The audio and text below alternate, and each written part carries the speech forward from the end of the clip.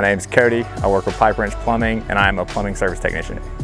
What brought me to Pipe Wrench was after medically retiring from the military, did a lot of research in the plumbing industry and I wanted that family work-life balance and that kind of led me right to Pipe Wrench.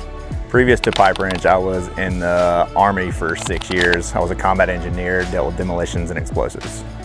What I like most about Pipe Wrench, being a plumbing service tech, uh, there's daily challenges. No matter what the job is, there's always some sort of challenge or something you have to solve to make that situation better for the customer.